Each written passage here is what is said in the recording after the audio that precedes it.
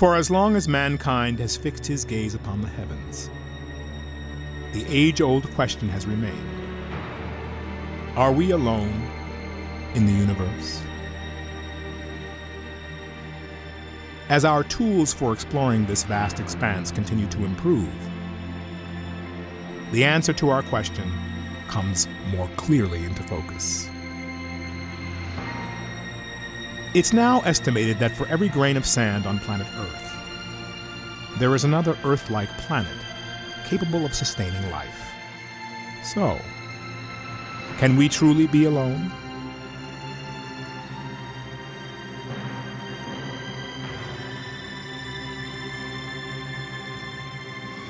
I'm going to introduce a man who says there are more things between heaven and hell than any of us have accepted. And I have the witnesses and the documents to prove it. Ladies and gentlemen, Dr. Steven Greer. On May 9, 2001, 20 military, government, and corporate witnesses held a press conference in Washington, D.C. And these are folks who have been involved in so called black budget or covert unacknowledged projects. They described a decades long conspiracy to cover up extraterrestrial visitation to Earth. These unacknowledged special access projects are taking in at least 40 to 80 billion dollars per year. And the study of extraterrestrial technology in covert military programs. And they are sitting on technologies that can change the world forever. This technology would liberate Earth from fossil fuels, environmental devastation, and poverty in a single generation. I didn't believe in UFOs until London Control called us in the winter of 1962 and asked us, would we chase one? Their testimony would make history. I said, Well, you're going to tell the public about it. And he says, No, we don't tell the public about this. It would uh, panic the public. This was the most watched event in the history of the National Press Club. We actually did recoveries of crashed saucers. There were bodies that were involved with some of these crashes, also some were alive. It marks the beginning of the global disclosure movement. These discs were hovering off the floor without any visible means of support. They were referred to as alien reproduction vehicles. Fifteen years later, Dr. Steven Greer opened his archives of documents and interviews. This information was refused to the President of the United States by the Director of Central Intelligence, George Bush Sr. They reveal the true story of the secrecy and of disclosure. There is no evidence, I wish to emphasize, that these life forms from elsewhere are hostile towards us. But there is a great deal of evidence that they are concerned with our hostility. This is that story. Phenomenon of UFOs does exist, and it must be treated seriously. Mikhail Gorbachev.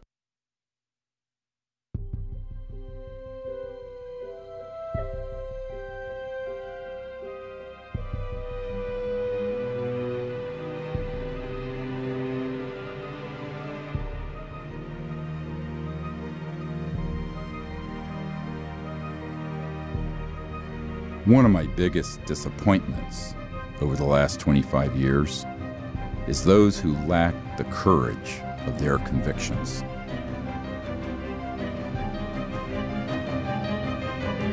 If 1% of the people who I've talked with, met with, or briefed had that courage, this would have all been fixed long ago.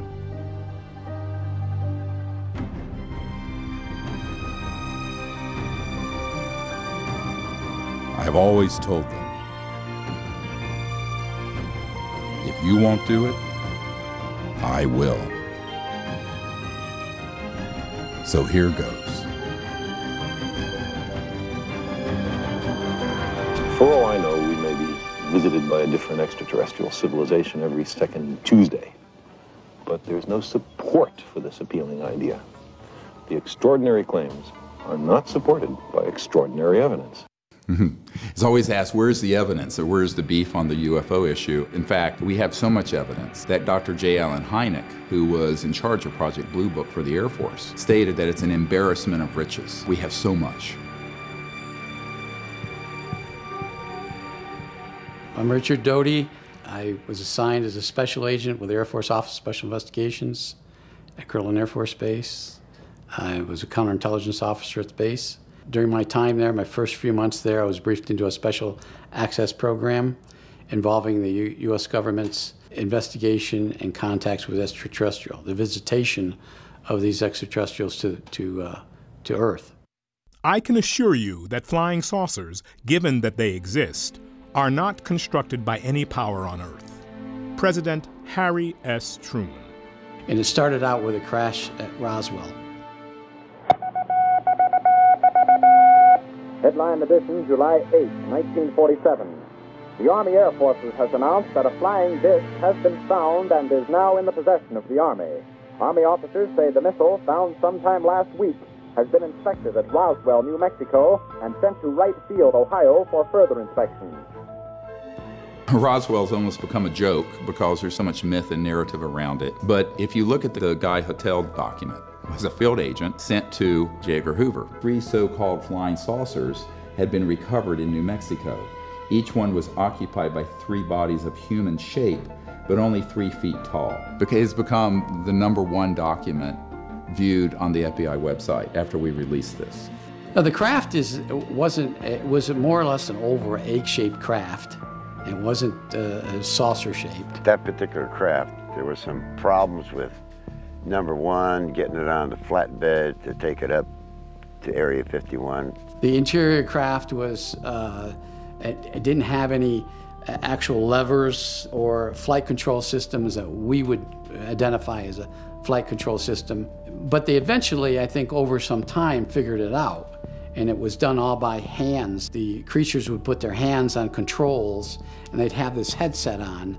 And this headset would somehow control uh, or, or help him control the aircraft. Well, they did discuss the fact that there were bodies. Extraterrestrial. Uh, extraterrestrial bodies, yes. The creatures were about uh, four foot. Some of the creatures were, were, were uh, uh, mangled, uh, were heavily injured, and their bodies were, were torn apart.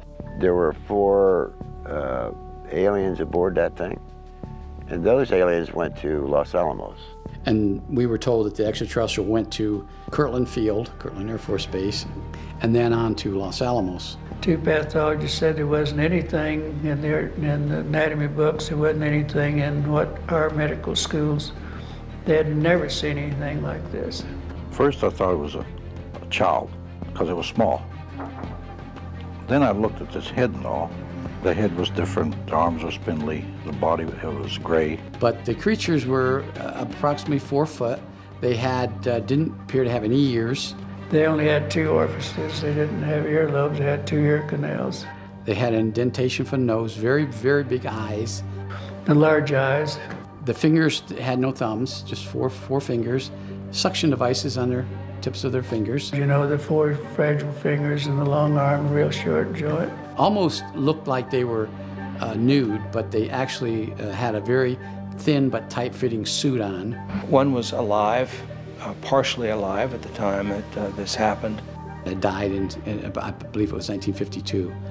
But the, the bodies of the, uh, the extraterrestrials that were found at the scene were uh, in a deep freeze, placed in a deep freeze, and sent to Wright Pat Field in Dayton, Ohio one of the briefing officers that was taking us around and talking about what was going on. They said there had been over 100 crashes in that Four Corners area. I just saw it on the crash. Holy shit! After Roswell, there was a flurry of ET activity across the globe. Dr. Greer spent eight years trying to persuade members of Congress and other high level government officials in the intelligence community to disclose what was happening but to no avail. So in 2001, he formed the Disclosure Project. What you're about to see is firsthand witness testimony of events over the past 50 years. Many are telling their stories for the first time, This is only the tip of the iceberg, as hundreds more have given us their testimony but are too fearful to go on camera for fear of repercussions for themselves and for their families. I feel that the Air Force has not been giving out all the available information on these unidentified flying objects. You cannot disregard so many unimpeachable sources. Honorable John McCormack, Speaker of the House. I'm one of those what you would call the high government officials in the FAA. I was the division chief. I was only three or four down from the admiral. The way it started is Japanese uh, airline 747 was coming from the northwest going across uh, the Alaskan uh, territory. So his radar is picking up uh, a target. He sees this target with his eye, and the target, the way he described it, was a huge ball with uh, lights running around it, four times as big as a 747.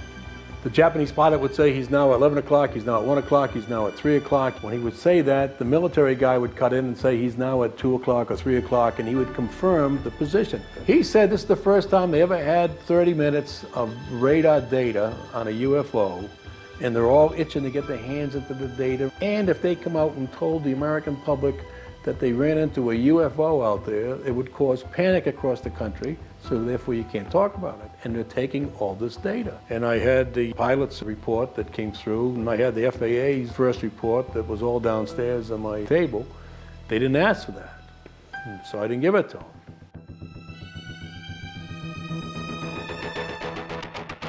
The plane that I was going to be flying in was an F-104, which was the fastest known aircraft to mankind at that time. So we're flying down the Rhine River. We're up at high altitude, and about that time, I spot a bogey at about 10 o'clock over here. I don't recognize the craft. I said, bogey, 10 o'clock. And the captain looked over there, said, well, let's find out. So he kicked it into afterburner, and we went after that, and it disappeared just like that. He says, please, whatever you do, do not say anything about this encounter. It will get me in much trouble. So that was my first introduction to cover up.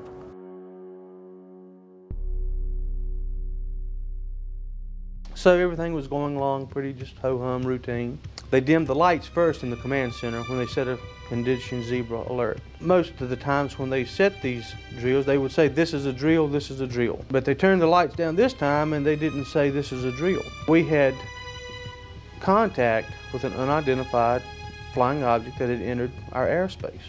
We had it on radar for almost an hour. The order was given by Admiral Train to try and get this object forced down out of the sky, if at all possible, by whatever means possible. What was really driving him nuts was this thing absolutely had con complete control of the situation and could just be wherever it wanted to be just in a matter of seconds. One minute off the coast of Maine, the next minute it's in Norfolk, headed south towards Florida. And after the, we found out it wasn't the Russians, they didn't care who it was or where it was from. They wanted it and wanted it bad. At various times, I loaded and unloaded nuclear weapons, and I was considered sane, so to speak, and able to handle nuclear weapons. But apparently, UFOs are, well, I know that they're well above uh, even nuclear weapons in secrecy.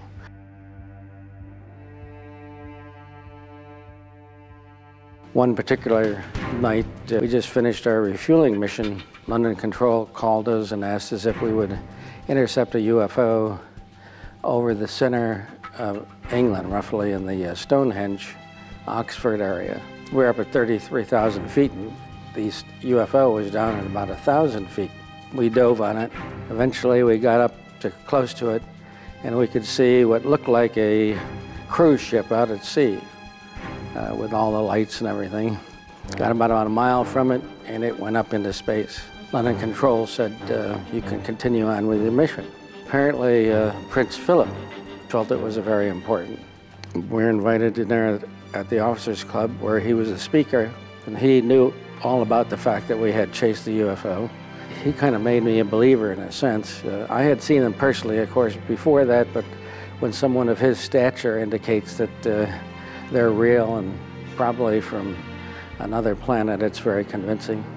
I believe that these ET vehicles and their crews are visiting this planet from other planets, which obviously are a little more technically advanced than we are here on Earth. Astronaut Gordon Cooper. We should go boldly where man has not gone before. Fly by the comets, visit asteroids, visit the moon of Mars. There's a monolith there, a very unusual structure on this little potato-shaped object that, that goes around Mars once in seven hours. When people find out about that, they're going to say, who put that there? Who put that there? Dr. Greer has been around people with top secret clearance his whole life. His uncle helped to design the original lunar module that put the first men on the moon. In 1961, President Kennedy challenged NASA to put Americans in space and on the moon by the end of the decade. Because that challenge is one that we're willing to accept, one we are unwilling to postpone, and one we intend to win. The Disclosure Project archives includes testimony from extraordinary individuals who were part of this great effort to explore outer space, including astronauts Gordon Cooper and Dr. Edgar Mitchell, the sixth man to walk on the moon. Yes, there have been ET visitation, there have been crashed craft, there have been uh, uh, material and bodies recovered, and there is some group of people somewhere that may or may not be associated with government at this point, but certainly were at one time, that have this knowledge and uh, have been attempting to conceal this knowledge. We walked over to one side of the lab and he said, by the way, we've discovered a base on the back side of the moon. And I said, I said, whose? what do you mean, whose? Well, uh, where's that visitors again? Yeah. Probably worth mentioning. Okay. And then he pulled out one of these mosaics and showed, showed this base, which had geometric shapes. There were towers, there were uh, spherical uh, buildings. There were very tall towers and things that looked somewhat like radar dishes, but they were large structures. And at that point, I became frightened and I was a little terrified thinking to myself that if anybody walks in the room now, I know we're, we're in jeopardy, we're in trouble because he shouldn't be giving me this information. The crew of the carrier Kearsarge goes into action off Midway Island in the Pacific for the return of a hero, Major Gordon Cooper. The capsule door is blown off and Cooper's flight ends, a performance that exceeded the most optimistic predictions. I was having some cameramen film the installation of a, of a precision landing facility we were putting in right on the edge of the dry lake. And the saucer flew right over him and put down three little gear and landed out on the dry lake bed. And they went out, picked up their cameras and moved on out toward him filming. And he lifted off, put the gear back in the well and climbed out at a very high rate of speed and disappeared. I was involved in the research and development and doing very classified programs myself. So I knew that we didn't have any vehicles of that kind. The Russians didn't have any of that type either. At that point in time, there was no doubt in my mind that this vehicle was made at some other place than here on Earth. Watching 8 News Now at 11. Officially, the uh, U.S. government ended its study of UFOs in 1969 because it assured the public there is no proof the phenomenon represents a threat to national security. But what if these unknown aircraft showed an interest in our nuclear weapons? A group of more than 150 military veterans, missile officers, security personnel, including many who worked at the Nevada test site, say they've seen mystery intruders over nuclear facilities.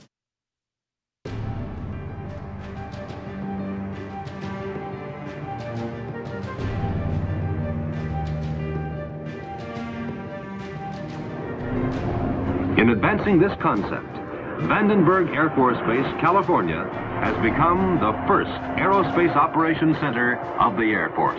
They actually photographed the uh, UFO following the missile as it climbed into space and shining a beam on it, which uh, neutralized the missile. It flew into the frame like this, and it shot a beam of light at the warhead, which is represented by my thumb here. So this thing fires a beam of light at the warhead, hits it, and then this thing flies up like this, fires another beam of light, goes around like this, fires another beam of light, goes down like this, fires another beam of light, and then flies out the way it came in. And the warhead tumbles out of the out of space. Now, when the lights came on, Major Mansmann turned around and looked at me and said, Were you guys screwing around up there? And I said, No, sir. And he said, What was that? And I said, It looks to me like we got a UFO. The idea of any explosion in space by any Earth government was not acceptable to the extraterrestrials, and that has been demonstrated over and over. How is that demonstrated? By the destruction of any nuclear weapons sent into space. It was early in the morning. I received a call from my topside security guard. He and some of the guards had been observing some strange lights flying around the, launch control facility. And I said, well, you mean UFO? I think I used that word.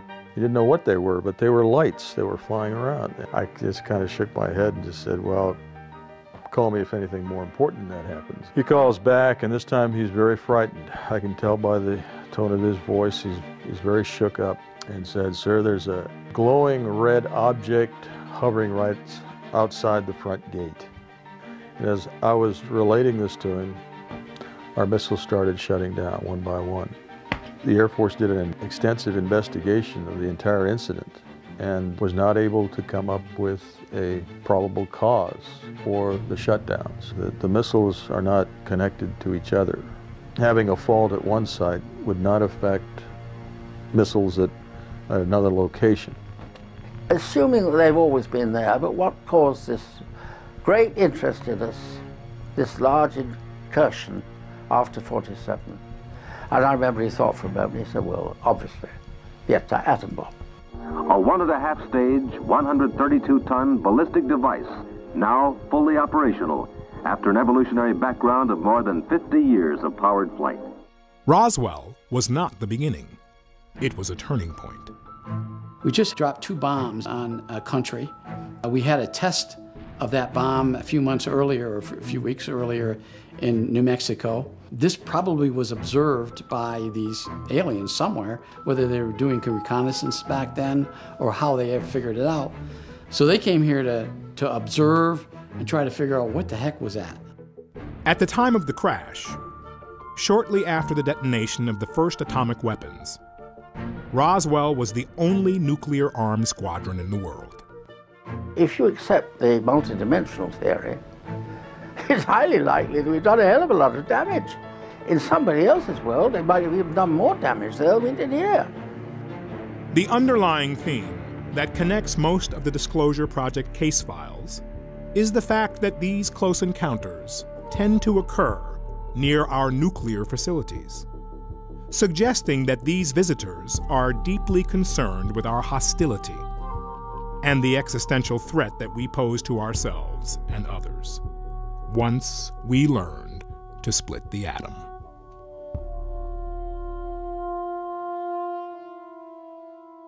These are some of the highest ranking military officials uh, in our, our defense program.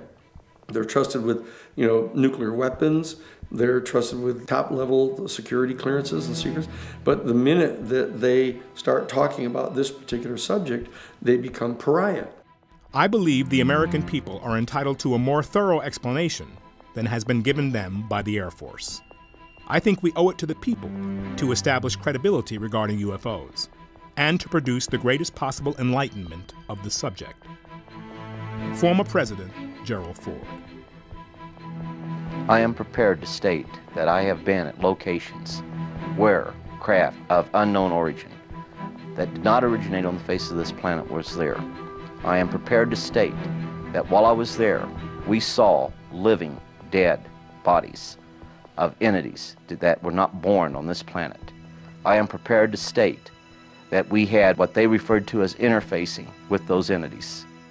Never there any compelling physical evidence. The question is, who are people like Carl Sagan and before him, Professor Donald Menzel? It turns out that Sagan, in his early career, actually spoke and wrote about UFOs in a way that was affirmative, that it was legitimate. After he was threatened by the intelligence community and blackmailed, he then began to debunk the issue. Skepticism is very healthy, and I'm a big skeptic about more than 90% of the information out there on the subject, which the public needs to be skeptical.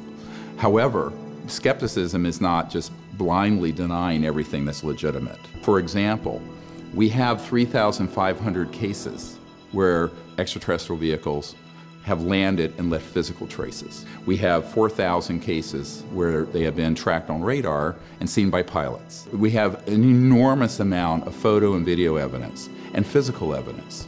And in our last project, brought out an actual body that is most likely not of human origin. So the question becomes, what is the metric for the evidence?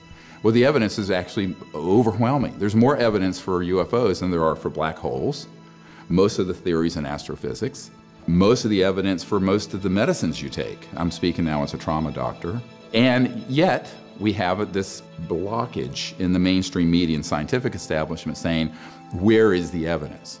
What do we know? We know now we live in an ever expanding universe. We know that there are billions of stars and planets literally out there, and the universe is getting bigger.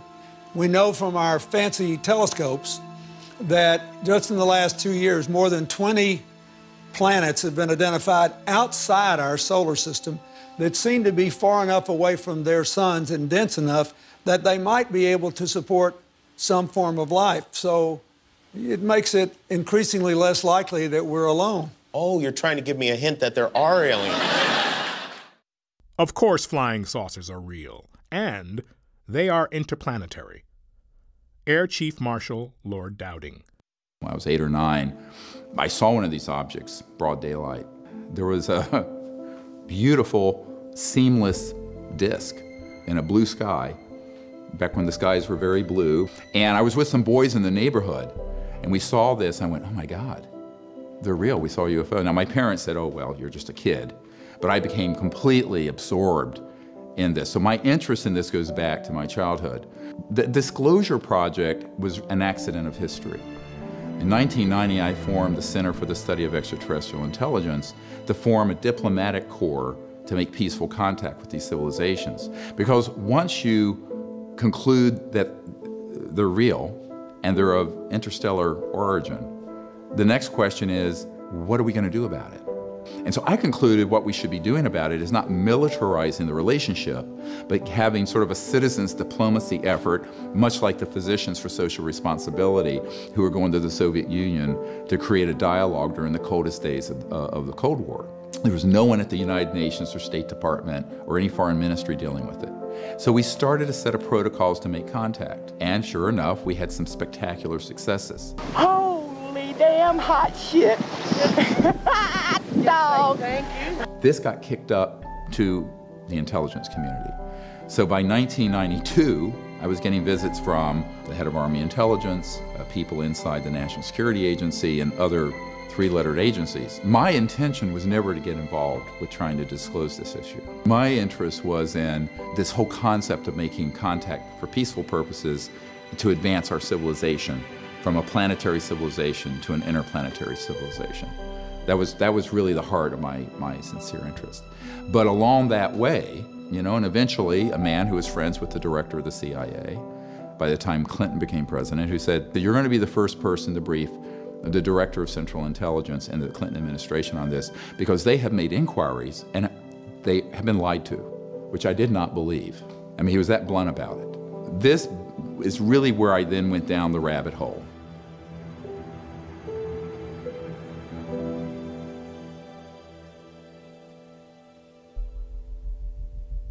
So, can the government keep a secret this big? One of the biggest weapons in the intelligence community's arsenal is our general belief that the US government couldn't possibly keep a secret this big from the American public. But the existence of the National Reconnaissance Office remained secret for over 30 years. The mere existence of the NSA, jokingly referred to as no such agency, was kept secret until it grew so large that it was quite conspicuous. And those working in the Manhattan Project developing the atom bomb were told that any secrets that they disclose would result in 10 years in prison, or an equivalent of a $100,000 fine. Only when the weapons were used at Hiroshima and Nagasaki did the government disclose what they were. Of, of all things, to keep secret the fact that there is this, uh, this bountiful option that we have of reaching out into the stars and being friendly neighbors with other civilizations and sharing information, sharing resources, and sharing knowledge and sharing spiritual insights and values. To suppress that information and to conceal it is part of the efforts of a national security state that is threatened by that reality. And so that this is the, one of the ultimate secrets that needs to be exposed. We have indeed been contacted, perhaps even visited, by extraterrestrial beings. And the U.S. government, in collusion with the other national powers of the Earth, is determined to keep this information from the general public. Victor Marchetti, former special assistant to the executive director of the CIA. And in this document from the Canadian government, the matter is the most highly classified subject in the United States government, rating higher than the H bomb. That was the most top secret doomsday weapon at the time in development. And the second item, B, flying saucers exist, period. C, their modus operandi is unknown, but concentrated effort is being made by a small group headed by Dr. Vannevar Bush. And then D, the entire matter is considered by the United States authorities to be of tremendous significance. What is more sensitive than the development of the hydrogen bomb prior to its detonation? The UFO issue. A priori, therefore, the entire subject has been managed in a way from the 40s onward with extraordinary secrecy around it. The event at Roswell, because it resulted in the acquisition of materiel that could be studied. It created a, a sea change in the whole national security organization because within uh, weeks of that event, the CIA was formed. Within weeks, there was the formation of the Air Force, which was split off from the Army Air Force. It also led, however, the development of unacknowledged special access projects, which is why Eisenhower, even though he knew about the subject on a fairly deep level, had completely lost control of it by 1961 when he left office. We must guard against the acquisition of unwarranted influence, whether sought or unsought, by the military industrial complex. You know, because you think of generals and you think of conservatives and Republicans as being very pro military and business. But he's talking about the illegal part of it. He's not talking about the conventional military. But it's now the military industrial intelligence uh, complex uh, that are moving bureaucratically toward establishing dominion and control over the entire democratic process in the country. And that they're waging war invading the Middle Eastern oil fields and occupying the oil fields, attempting to establish what they themselves refer to as full spectrum dominance. But we're going to smoke them out. And so the public has to understand there began to be this bifurcation, that this separation between legitimate national security and military operations and the deep black programs that are unacknowledged. We're talking about the black budget, the deep black, super secret, unacknowledged budget that runs in the 100 to 200 billion dollars a year. I'm being conservative. My 03 budget calls for more than $48 billion in new defense spending. More money for the Pentagon when its own auditors admit the military cannot account for 25% of what it already spends. According to some estimates, we cannot track 2.3 trillion dollars in transactions. 2.3 trillion with a T. That's $8,000 for every man, woman, and child in America. We're spending well over $100 million per day on classified programs that have no congressional oversight, no public scrutiny. Uh, there's no monitor of these programs. A number of these programs go directly through Congress, totally. When you start going through these documents, these programs start dropping off the radar screen. These are all classified programs within the defense budget but they don't supply any technical information on the program. And if people think that the Congress and the President actually have a handle on this, they're gravely mistaken. They do not. This is where we get into the structure of secrecy. The structure of secrecy is complex and multifaceted. We've been led to believe that we live in a mostly transparent democracy, with the president at the top of the intelligence food chain, a true commander in chief. The reality, however, is much different. A shadowy government with its own Air Force, its own Navy, its own fundraising mechanism, and the ability to pursue its own ideas of the national interest, free from all checks and balances, and free from the law itself. There's secrecy that is legal, and unfortunately, where Edward Snowden made his mistake was by disclosing secrets, no matter how inappropriate it might have been that they were going on, that were being managed legally that the President and Congress and the intelligence committees knew about. A traitor! A traitor to the United States. On the other hand, there's secrecy that is illegal. And these are the unacknowledged special access projects, USAPs, USAP for short. What they've done is they've formed this alliance among themselves of the industry that makes money by building war machines, the military that uses the war machines and justifies them, uh, and then the intelligence community that is not really an intelligence community, it's a covert operations community armed with military weapons and nuclear weapons, and that they're trying to push the boundaries now of establishing their dominion in full spectrum dominance over the planet. And in this document, first document that's on the briefing for President Obama's brief we put together that we gave to John Podesta, this document lists the compartmented operations out of the Nellis facility, what the public wrongly calls Area 51. I gave this document to the head of intelligence for the Joint Chiefs of Staff, Admiral Tom Wilson. Now, this is J2. This is the guy who puts the intelligence briefings together for the Joint Chiefs of Staff of the United States of America. And he got hold of one of these compartments and he said, Hello, I'm Admiral Tom Wilson. I want to be read into or briefed on this project. They said, Yes, sir, we know who you are, and you don't have a need to know. You don't have a need to know. The head of intelligence for the Joint Chiefs of Staff so this is where the military have been victims of the secrecy because there are many generals and admirals and very good officers I've met with who have enormous responsibility that everyone, if you polled a thousand people on the street, I think every single person would say something this sensitive they would know about and if they didn't have knowledge about it, if they asked about it, they will be told. That is not true. There are very clear efforts to engage in covert programs and to keep the knowledge of those programs away from people, even in positions of constitutional authority. Uh, Dick Cheney, he would have a need to know. They call him Darth Cheney. We're talking about people way up in the defense industry, people who are running the skunk works, people like Ben Rich, like Kelly Johnson. So these unacknowledged special access projects do not care what your rank and position is. They care about one thing, Will you go along with their agenda? And this is exactly what happened when I met with uh, Lord Hill Norton. Since my name has become connected with UFO matters in quite a big way in this country, I have frequently been asked by a person of my background, a former chief of the defense staff, a former chairman of the NATO military committee, what the reasons may be for governments wishing to cover up the facts about UFOs.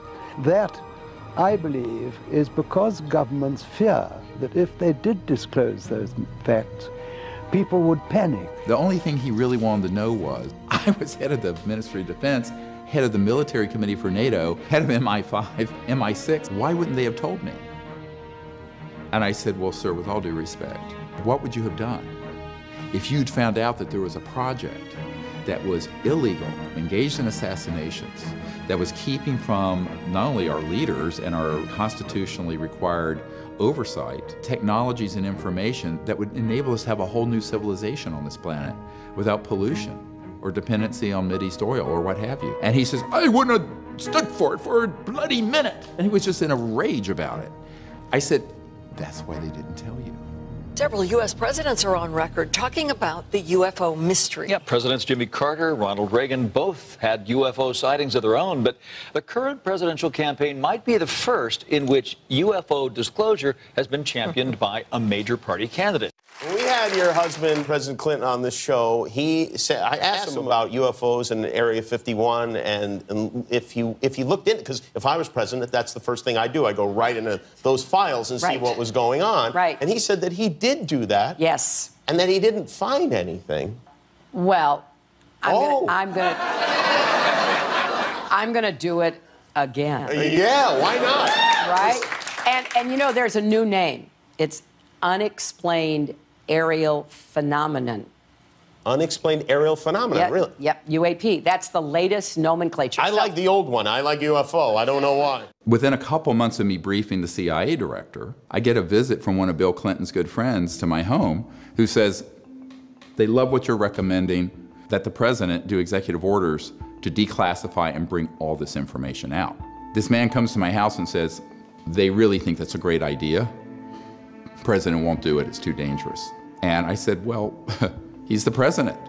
If he didn't want to be president, he shouldn't have taken on the responsibility and sworn an oath to the Constitution. And he says, Yeah, but you don't understand. They don't think that they can protect the president. And I said, What do you mean? And he's sitting at the, at the dinner table with my children. And he says, Well, they're concerned uh, that President Clinton will end up like Jack Kennedy. And I start laughing. I really, I mean, I really started laughing out loud because I thought this is nonsense. This is like conspiracy kookville. He says, No, this is absolutely their concern, is that if he pushes on this, he is in mortal peril. Kennedy may have been engaged in a bit of a struggle with the CIA in trying, uh, attempting to get more information on the UFO subject, and that might account for his termination.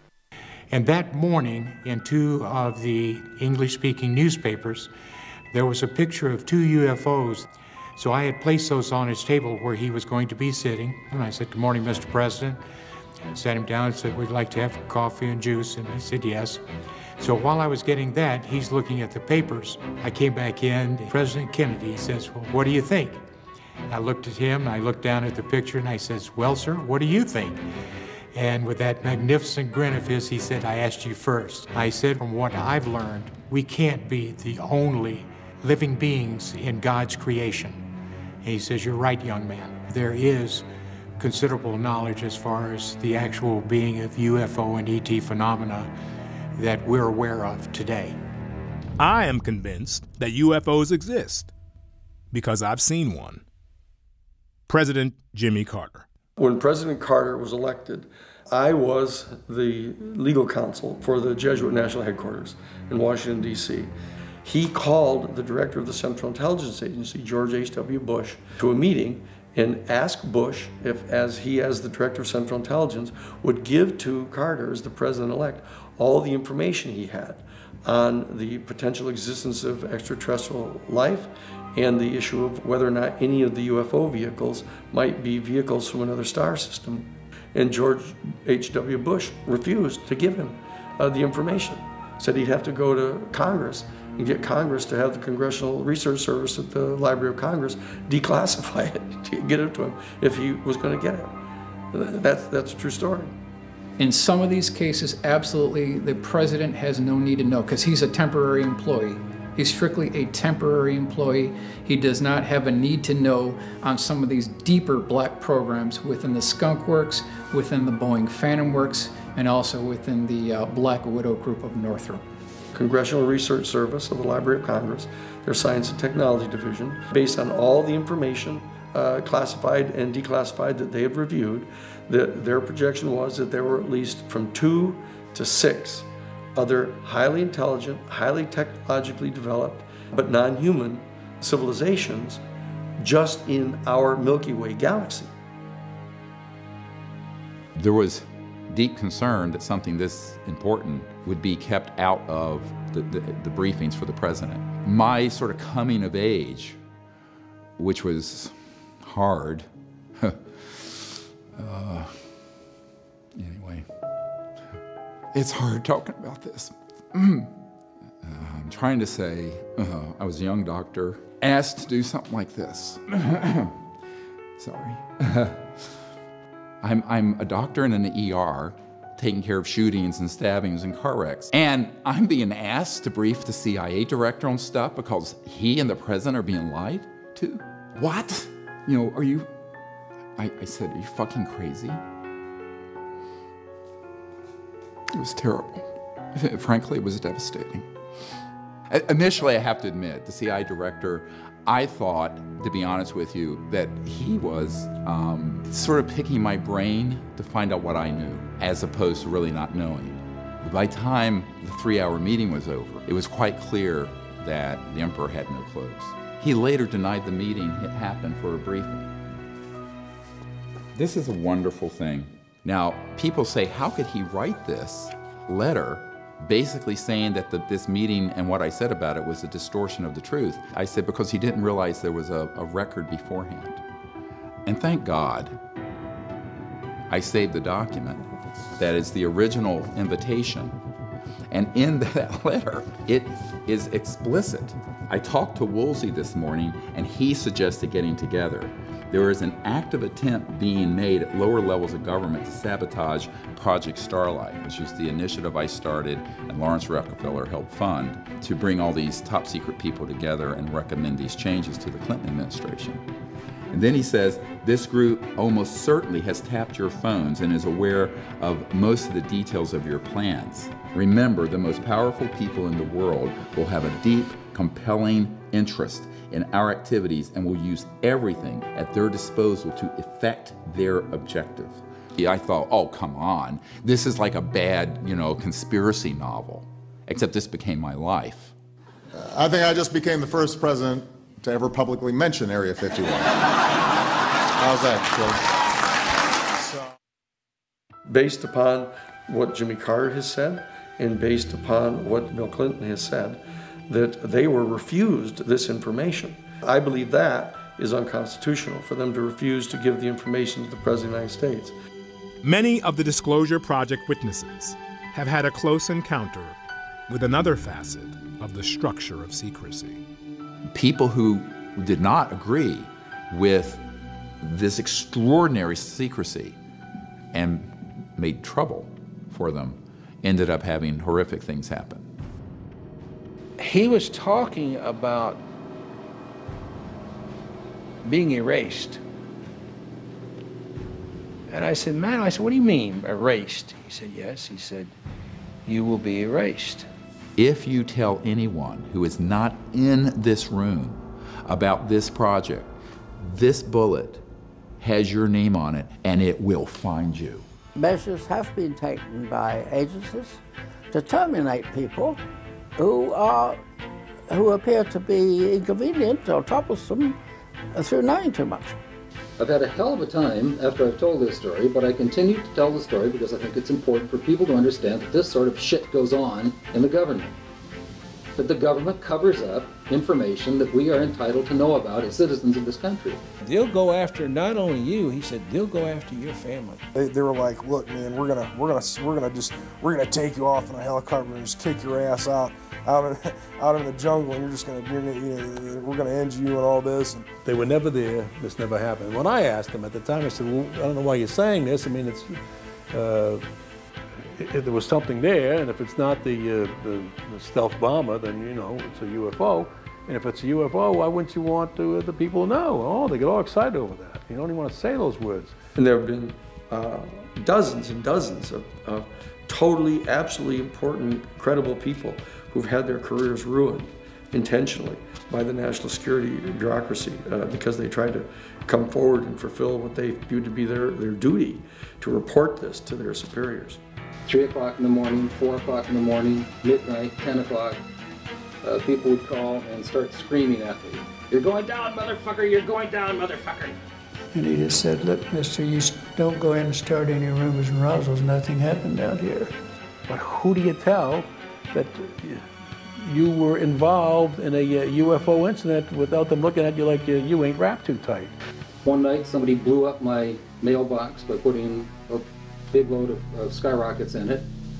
The mailbox went up in flames.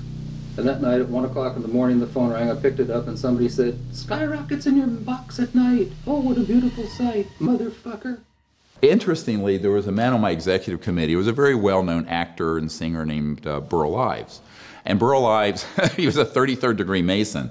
So all of you people who think that all these secret societies, everyone in it knows everything, they don't know anything. And he said to me, he says, we all know that Marilyn Monroe didn't die of an overdose. Boop boop be doo. He said, do you know why they killed Marilyn? Mr. President, the late Marilyn Monroe. And I said, well, I didn't until I got this document.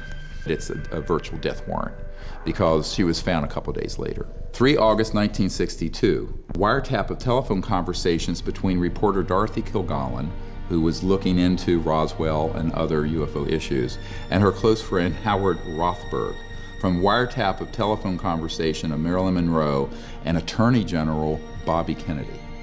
Rothberg discussed the apparent comeback of the subject with Kilgallen and the breakup with the Kennedys. This is referring to the fact that Marilyn Monroe had been having an affair with not one but both Kennedy brothers and it was becoming conspicuous so they broke it off. Rothberg indicated in so many words that she had secrets to tell, no doubt arising from her trysts with the President and the Attorney General. One such secret mentions the visit of the President at a secret air base for the purpose of inspecting things from outer space. Now, this is 1962. Kilgallen said if the story is true, it would be a terrible embarrassment Uh, for Jack and his plans to have NASA put men on the moon. We choose to go to the moon in this decade and do the other things, not because they are easy, but because they are hard.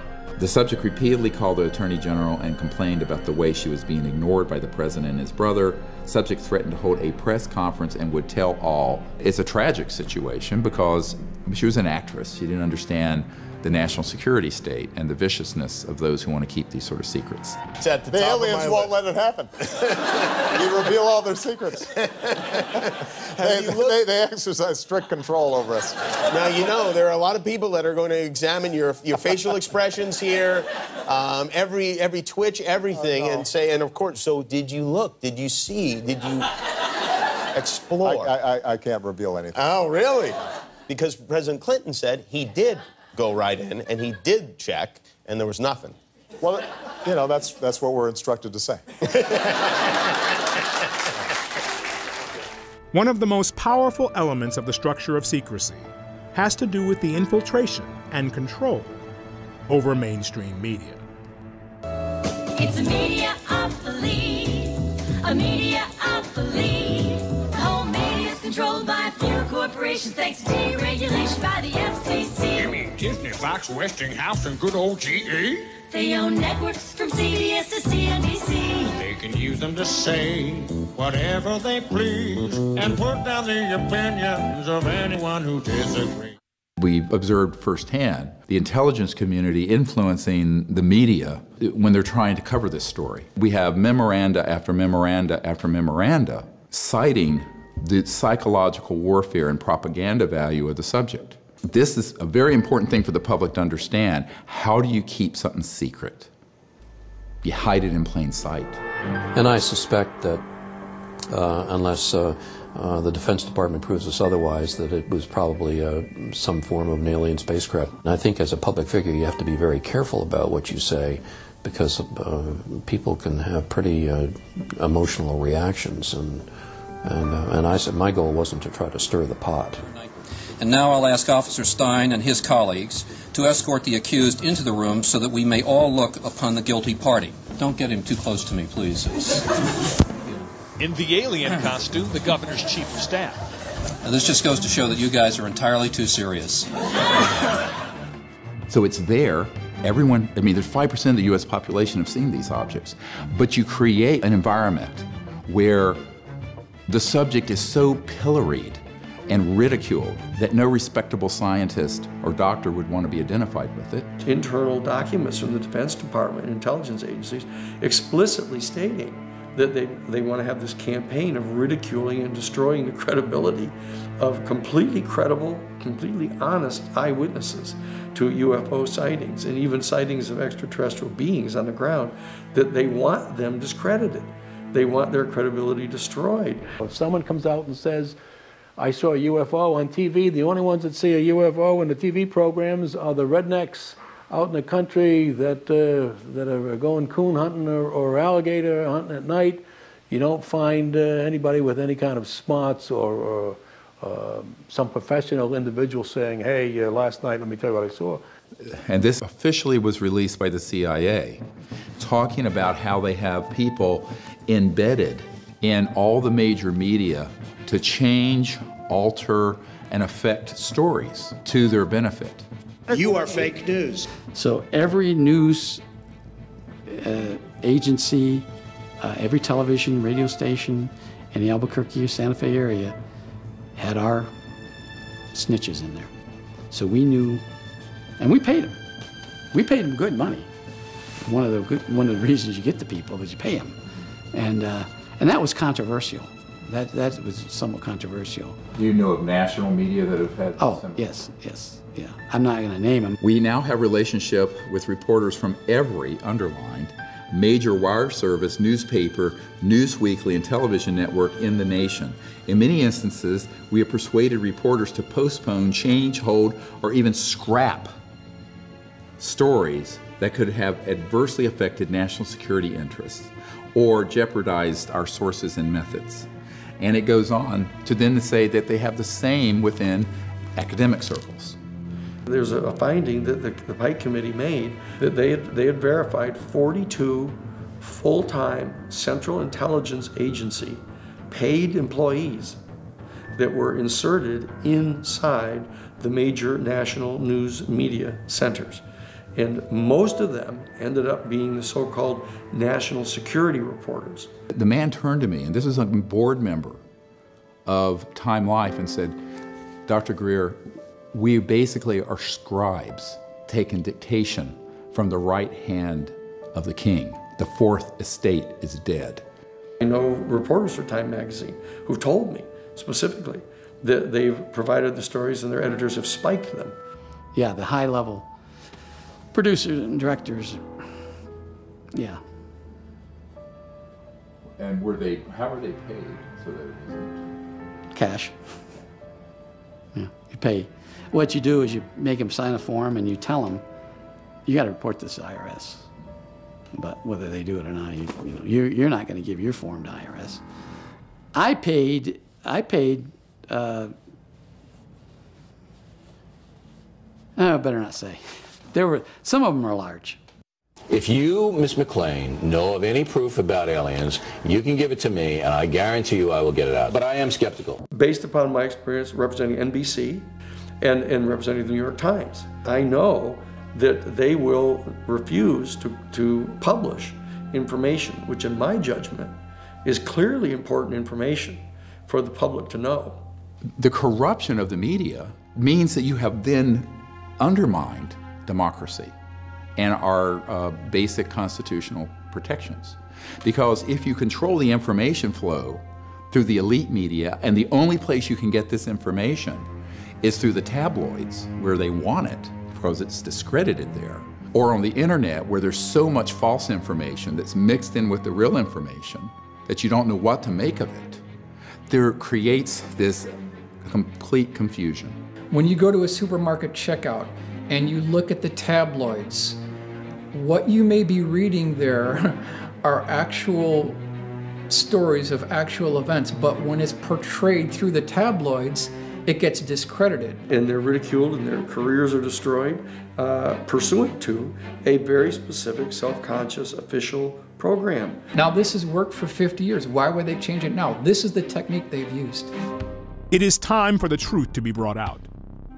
Behind the scenes, high ranking Air Force officers are soberly concerned about the UFOs. But through official secrecy and ridicule, many citizens are led to believe the unknown flying objects are nonsense. I urge immediate congressional action to reduce the dangers from secrecy about unidentified flying objects. CIA Director Vice Admiral Roscoe Hillenkoetter. And so we're sort of living in a Truman show here. Everyone thinks we have a free press. We don't. We have a, a, democratic process where all these sort of sensitive issues would be handled legally. We do not. And that we have an uncorrupted scientific establishment, which we do not, and which we will prove. The structure of secrecy extends to the scientific and academic arenas, where a deliberate effort to spread disinformation has been going on for decades.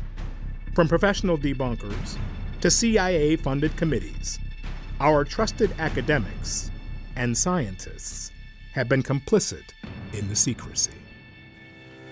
A lot of people see something, and a lot of people see things that are really they can't identify, but that doesn't mean they were, it's quite a leap. I believe that people report seeing things they cannot identify, but I, after spending 25 years, I've found not a shred of evidence that we have alien visitors in our skies. Uh, look, look, this would be the greatest discovery in the history of science. NASA would be elated. Of course, they'd go to Congress to get more funding. Why would anybody cover this up? Let's do, let's do, let's, let's do this other little thought experiment, everybody. Are you going to do this with baking soda and vinegar, Bill?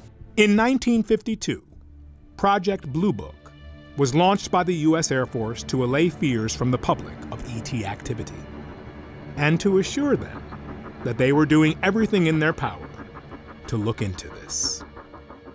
I am here to discuss the so called flying saucers.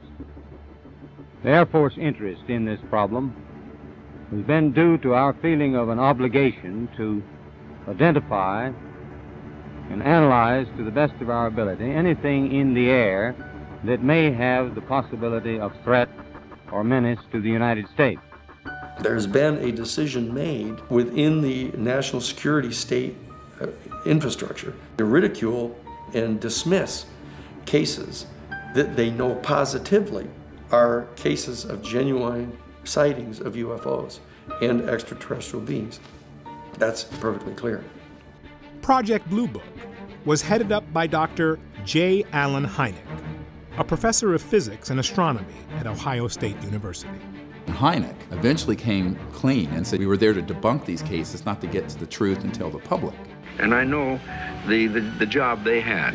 Uh, they were told not to excite the public, uh, don't uh, rock the boat.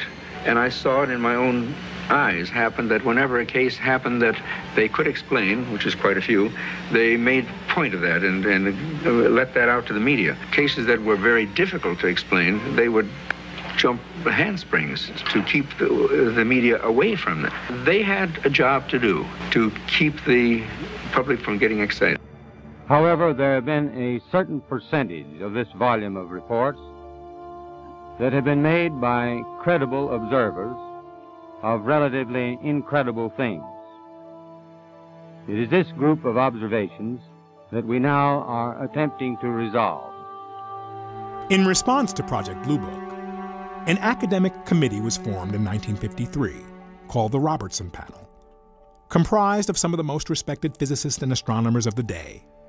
The Robertson Panel was tasked with providing a fair and independent academic analysis of the UFO case files. And in this document, it says point blank that the people who are on this committee are answering and working with the CIA, but that can't be disclosed. And these are esteemed scientists in academic university settings. It says point blank, when there's a very strong piece of evidence, we need to set up something so we release a certain type of balloons and film it so that it will look like that to sort of debunk it. And we need to engage astronomers and amateur astronomers and set up a sighting situation where we show them some evidence and then show them how it's debunked. Fast forward to 1968. The Condon Committee was formed, led by Dr. Edward Condon, a professor of physics at the University of Colorado. Now, ostensibly, this was an objective scientist who was heading up a committee to tell the truth, because I'm a scientist. These guys are scientists second, they're humans first. And it says it cannot be allowed to be known that Dr. Condon et al. are actually working with the CIA for these psychological warfare and spin factors. I concluded that this was not an objective study. So I uh, wrote a letter to Condon, and he was so furious at that that he called up James S. McDonnell, who was at that time the, the chairman of the newly merged Douglas and McDonnell aircraft companies, and tried to get me fired. This is in these documents. It is, this, this is not a theoretical case. This is why I say you form a committee when you want to kill something. I must admit that any favorable mention of the flying saucers by a scientist amounts to extreme heresy and places the one making the statement in danger of excommunication by the scientific theocracy. Frank B. Salisbury, PhD.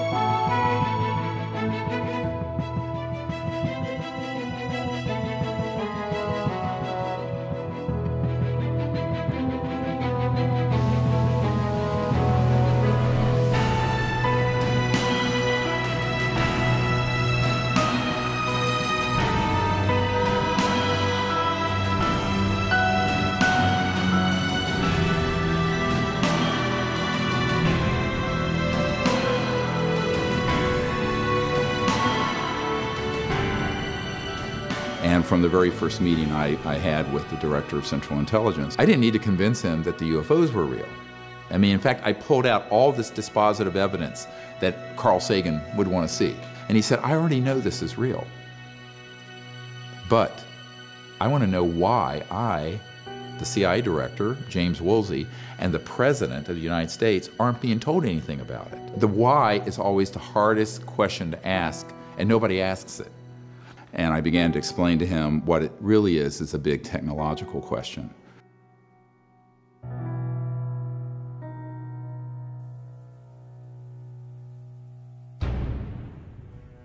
We have lost a hundred years of evolution on planet Earth. A true lost century. Huge progress was made in the 1920s as Nikola Tesla developed energy generation technologies that could power the Earth, drawing endless free energy from the so called empty space around us. So called empty space isn't really empty at all, it's actually full of energy.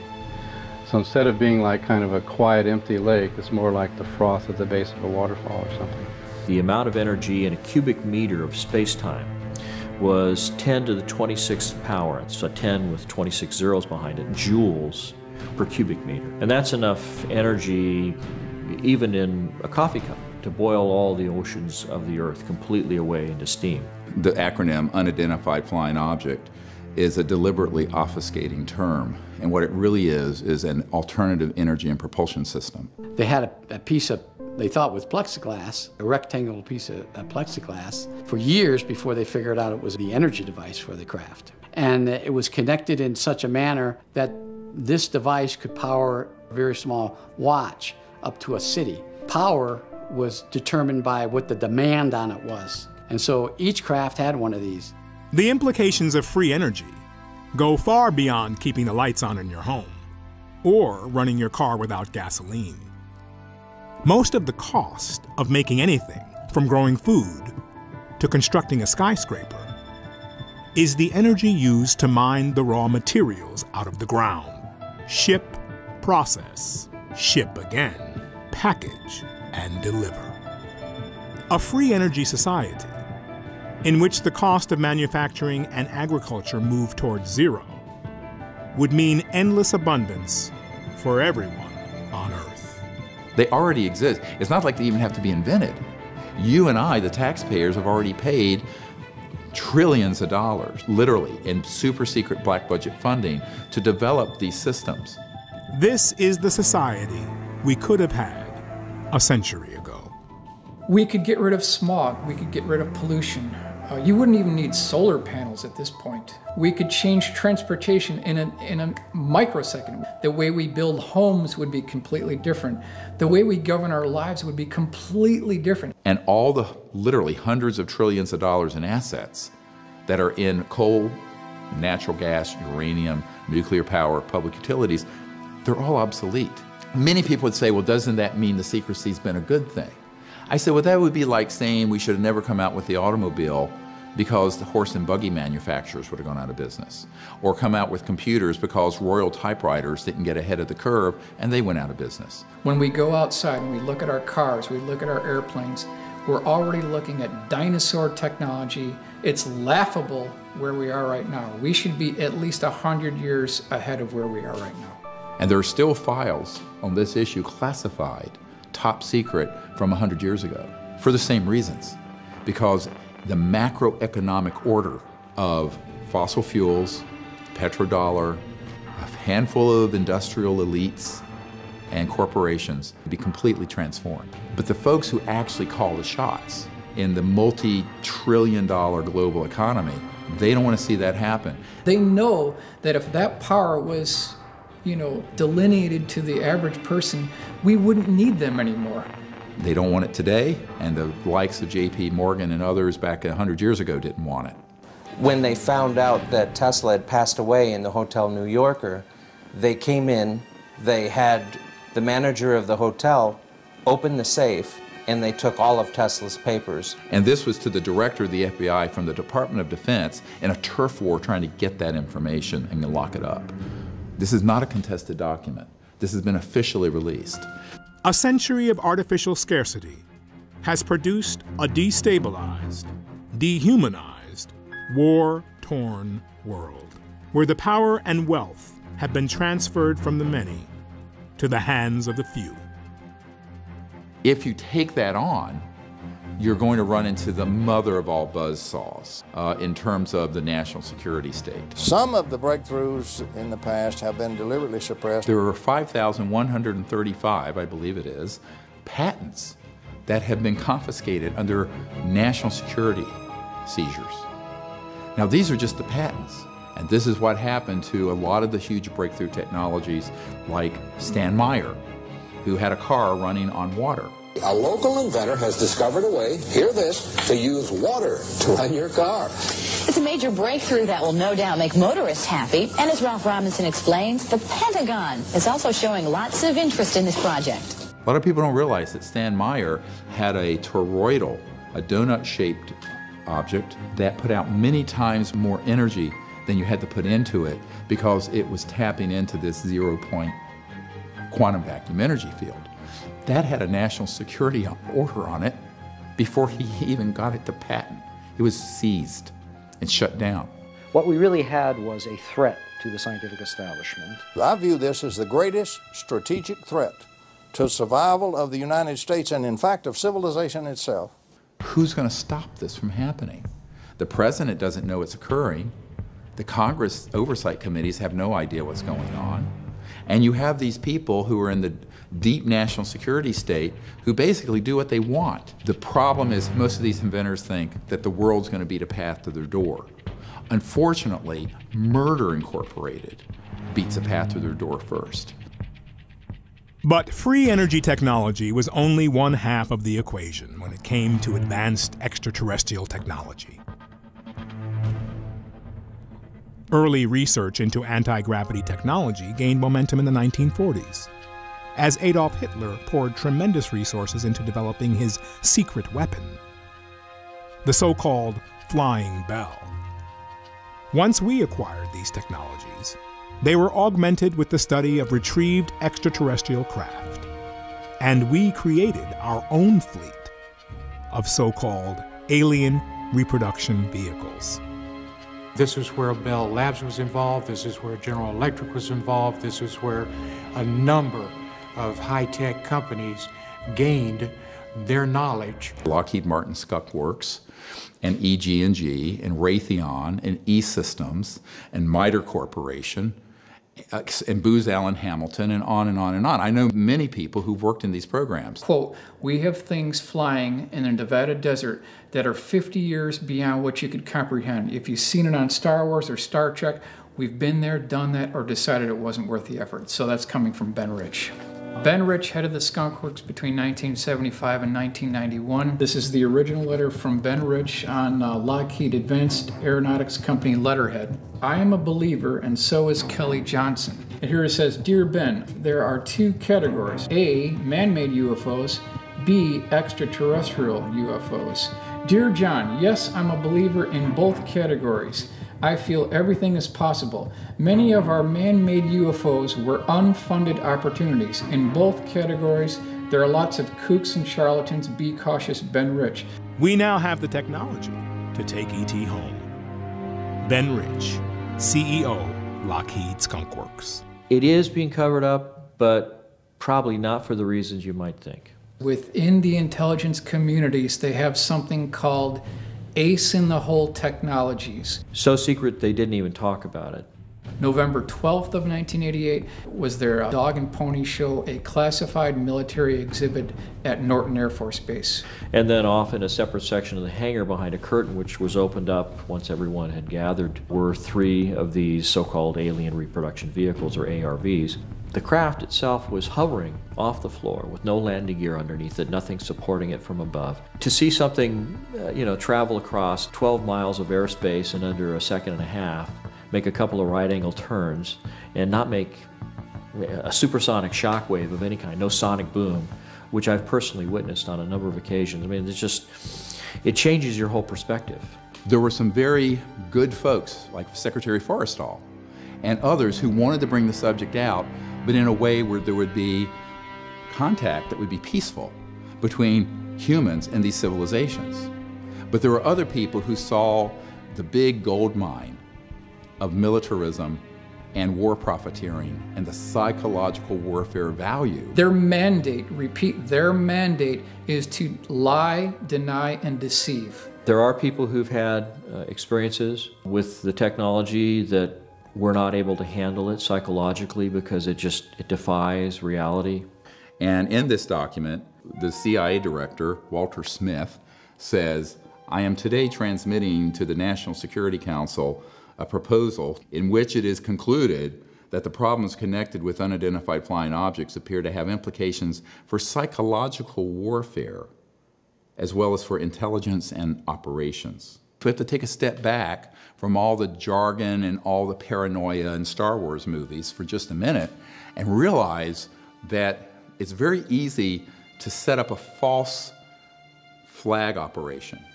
A false flag operation, also known as a false indication and warning, is a military tactic in which you create the illusion of a threat, often by attacking yourself and blaming the desired enemy.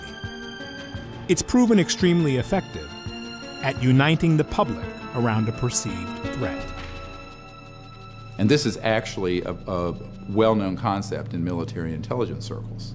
We did it in the Gulf of Tonkin in Vietnam, where we exaggerated, if not completely staged, an attack on our naval vessels so we would stampede President Johnson and the Congress into vastly expanding the Vietnam conflict to benefit, guess who? The military industrial complex and the war profiteers.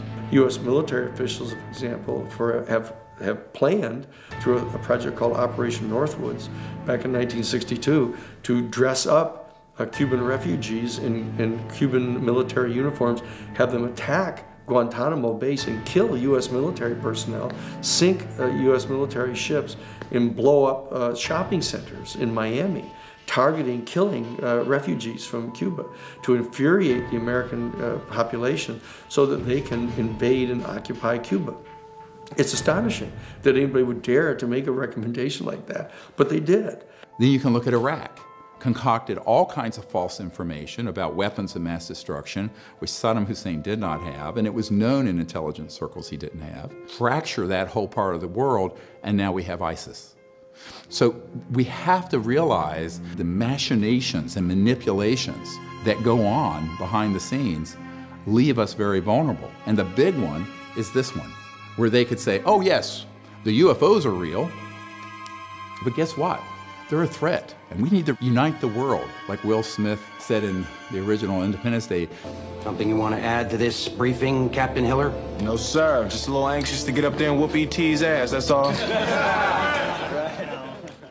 Efforts on the part of a certain element within the kind of ruling structures of our planet to try to utilize the discovery of extraterrestrial intelligence as an ultimate threat, the ultimate other bad guys to justify the national security state uh, dream of locking down and putting under complete control of an authoritarian ruling class the control of the planet and the resources. The nations of the world will have to unite, for the next war will be an interplanetary war. The nations of the Earth must someday make a common front against attack by people from other planets. General Douglas MacArthur. Can you realize that we, that you and I, that all of us have actually begun the exploration of another world. We have taken the first historic step into our solar system. I am Wernher von Braun. Wernher von Braun was one of the top scientists brought to the U.S. from Germany after World War II as part of Operation Paperclip. He invented the V 2 rocket for Adolf Hitler and became the chief architect of the Saturn V rocket for NASA's Apollo moon missions. In his deathbed confession, von Braun warned of a plot to pull off the ultimate false flag using back engineered alien reproduction vehicles to stage an invasion from outer space. When von Braun was dying in front of me the very first day that I met him, he had tubes draining out of his side. And he was tapping on the desk telling me, You will come to Fairchild. I was a school teacher. You will come to Fairchild and you will be responsible for keeping weapons out of space. The strategy that Wernher von Braun taught me was that first the Russians were the enemy against whom we're going to build space-based weapons. Then terrorists would be identified. Then we were going to identify third world country crazies. The last card is the alien card, and all of it he said, is a lie. A lie. have you been exposed, or did you come across in, in your career and your network um, the, the false INW or, or the deceptive indication and warnings projects related to this? Yes. And what did you find out about those? Um, that's pretty. Cla- that's pretty hush. That's. I, I, don't think I should talk about that. Yeah. I mean, that's what I, when I briefed the head of the Defense Intelligence Agency, that was the main subject. That is, um, yeah, that's very uh, sensitive. Yeah, it's very sensitive. Yeah. I occasionally think how quickly our differences worldwide would vanish if we were facing an alien threat from outside this world.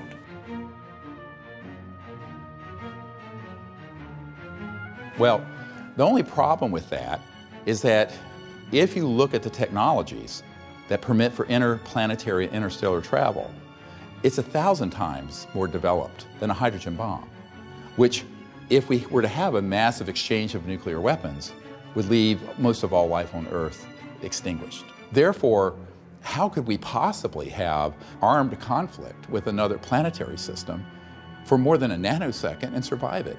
They know that we couldn't. But it's a way of manipulating the public through demagoguery of fear, jingoism, false nationalism, and creating a boogeyman out in space. Were you surprised when your daughter enlisted? Not at all. She's a born leader. I know I've been taking orders from her since she was five years old. So you don't worry about her? Of course I worry about her. I fought in the war in 96. I know what those things are capable of. But I know what my daughter is capable of. And I know this planet is safer because she's defending it.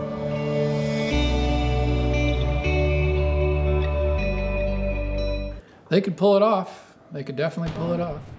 Right now, they have the technology to mimic the form, fit, and function of extraterrestrial UFOs. They have the technology, absolutely. It's seamless, and you can never tell the difference.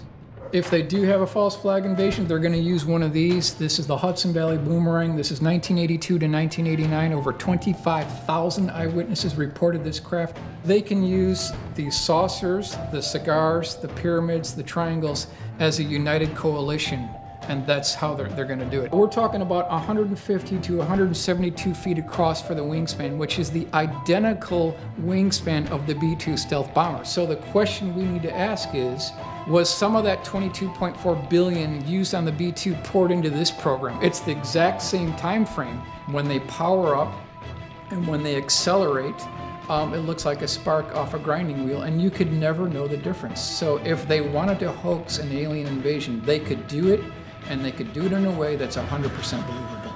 They started doing all kinds of psychological warfare entrainment of the public by staging hoaxed events such as cattle mutilations. Oh, it's a flying saucer did that. It's a covert paramilitary program, human. So if you wanted to start indoctrinating people into a false threat from outer space that Wernher von Braun warned us about, you would start staging events that look alien, but that are completely man-made, that are scary and scare the hell out of people. UFO encounters are categorized into four groups. Close encounters of the fourth kind include people who claim to have been abducted by extraterrestrials. If you had a close encounter of the fourth kind and you are back, we're anxious to hear from you. Inner stage left, you got these uh, sort of anti-gravity devices with creatures that look like ETs that are actually man-made robotic systems. They're called programmed life forms. And you start doing select interfaces with the public. We did do that, yes. Uh, OSI did that. There was a special group uh, out of uh, the 7602nd Air Intel Wing at Fort Belvoir that came out and did that. They uh, had these uh, people that had maybe some sort of defects, uh, anatomical defects that were uh, brought brought in to, to, to, to, fool people and thinking they're aliens. Yeah. Um, I can't give you any specifics because it's still the program is still classified, and they're probably still doing it. I wouldn't doubt doubt it. They were still doing it. So they've already got this psychological warfare already embedded into the minds of people to expect an extraterrestrial, not a secret aircraft, but an alien craft. So when they do pull this, they'll already have everything ready to roll. These civilians got onto the base and, and got into something. They saw something they weren't supposed to see. And this group came out and went into their home and scared the dickens out of them and staged an alien yeah, event. Exactly. The government will use the extraterrestrial phenomenon to cover their own deep black programs. And so that's the fight that we're up against here. And then it makes it out through the, the movie industry and the UFO lore and the internet and what have you, and it starts creating the specter of a threat.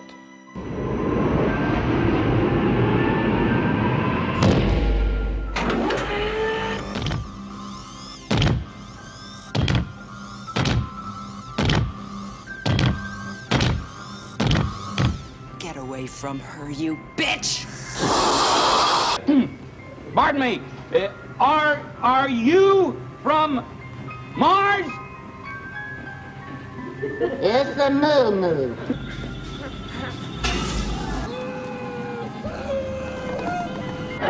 Nicht Deutsch? It's a moo moo.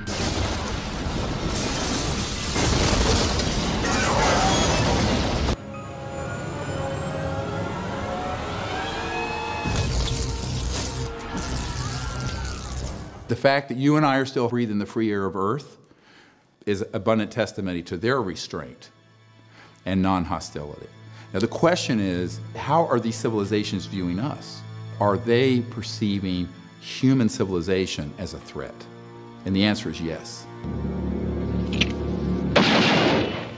Because I believe we've reached a point where we're a threat not only to our planet and each other, but we're also developing weapon systems that are potentially a threat in space. I just hope that uh, it's not like Independence Day. Yeah, right. Really, that it's a, you know, a, a conflict. Well, now we have friendly Maybe the only way to unite this incredibly divided world of ours they're out there, we better think of how all the differences among people on Earth would seem small if we felt threatened by a space invader. That's the whole theory of independence. You're right. You're right. Everybody gets together and makes nice, and you know. You and Bill O'Reilly would be hiding in a bunker together. The most dangerous thing going on on the planet today isn't ISIS. It's not Iraq. It's not Russia. It's not China. It's a out of control, covert group that is not being overseen by the people, the Congress, or the president who have developed these technologies and are recklessly using them to track and target extraterrestrial vehicles.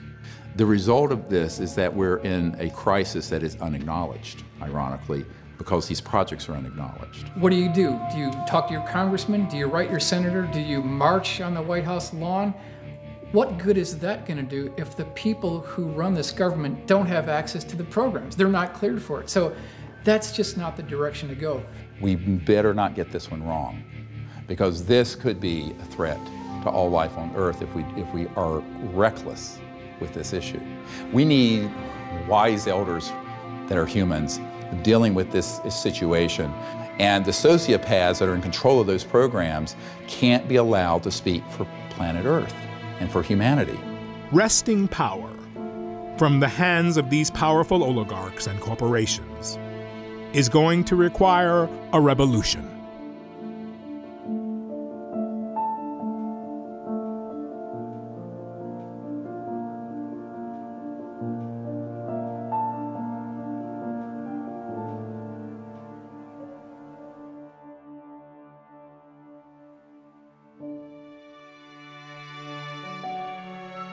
One of the more hopeful events that happened over the last decade was what I call the French Initiative. I get a letter from the Ministry of Defense, and it's dated 16th of January 2007, urgent, and it's signed by Admiral Pierre Morin. And he was in charge of providing briefings on this issue for then President of the French Republic, uh, Sarkozy. They learned protocols to make contact with these civilizations for peaceful engagement. So here you have a major country, a nuclear power, making a commitment to do this. And we eventually go to France, and under the cover of a quasi-public event, the admiral and his assistants are there, and we do our, the protocols for contact. And they track ET craft coming overhead at 200,000 kilometers an hour. But what it shows is that governments around the world can actually do a lot if they wanted to, to break the mold of secrecy and do something helpful.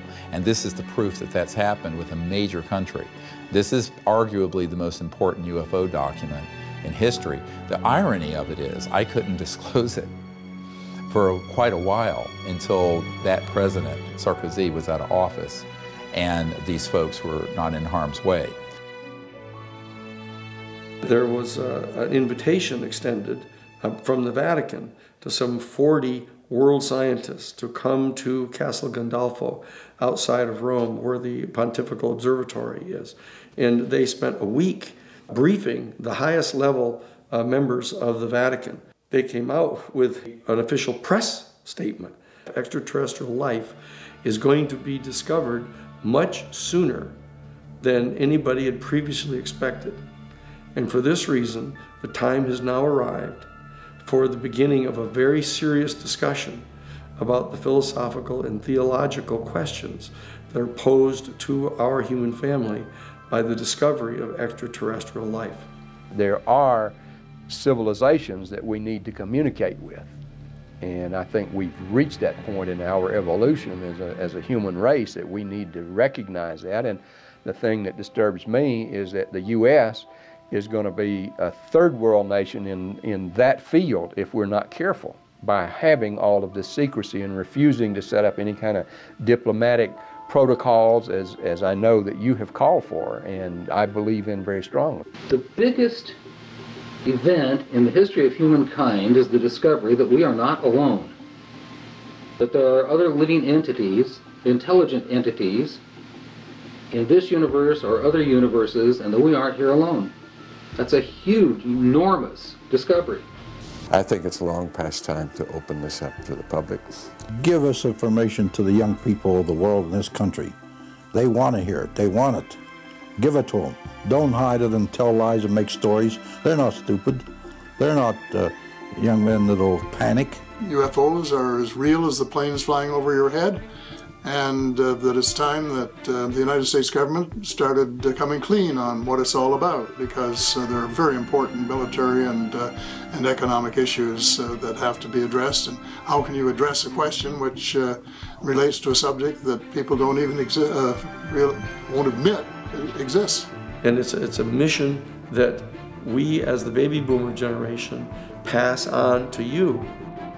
Humanity is at a crossroads, a choice between endless war, war in space, growing poverty and environmental destruction, or a future where we explore the stars, live in peace with each other and our planetary neighbors. The technology is there, the solutions to Earth's urgent and long term potential problems are there. The technologies will change the macroeconomic system. Because visualize for a moment, you're at your home, all your power needs are being provided from one of these zero point or quantum vacuum energy systems. Your car is running, never has to be plugged in. You then can have agriculture and manufacturing locally that has very little cost to it. And this is not just in the US, but in places that aren't yet developed, so-called third world or developing world, they're going to leapfrog right over the smokestack industries and go to high tech, real high tech, just like they've skipped over telephone lines and gone to smartphones. This will be a tide that will lift all ships. The world will be increasingly interconnected, and yet on the local level, be completely self-sufficient, every village, every home. And this is something that is the biggest change economically in the history of the human race. It's a big nut to crack, but I think that if you could do that, I think that people would stop looking at each other with a certain level of hostility like we do now. I guess it's kind of corny, but it's that bright future that I see that we could all attain if just a few things could be changed. Imagine interplanetary trade, how exciting that would be. You have to adjust your cosmology, you have to adjust your whole concept of, of our human species being at the apex of all bio, biological evolution in the universe.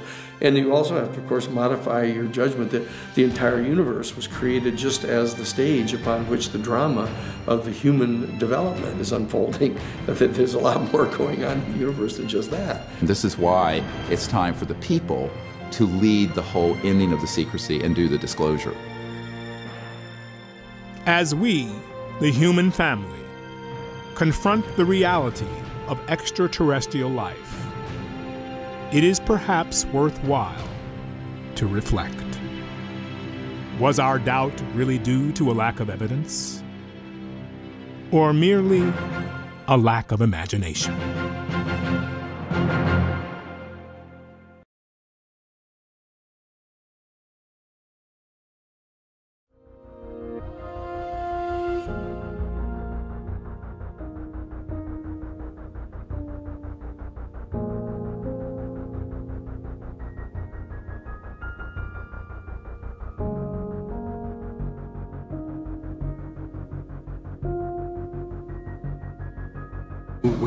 Area 51 and whether or not the U.S. government knows of aliens, should Secretary Clinton be elected president? Well, what I've talked to the Secretary about and what she said now in public uh, is that if she's elected president and she gets into office, uh, she'll ask for uh, as many records as the United States uh, federal government has to be declassified.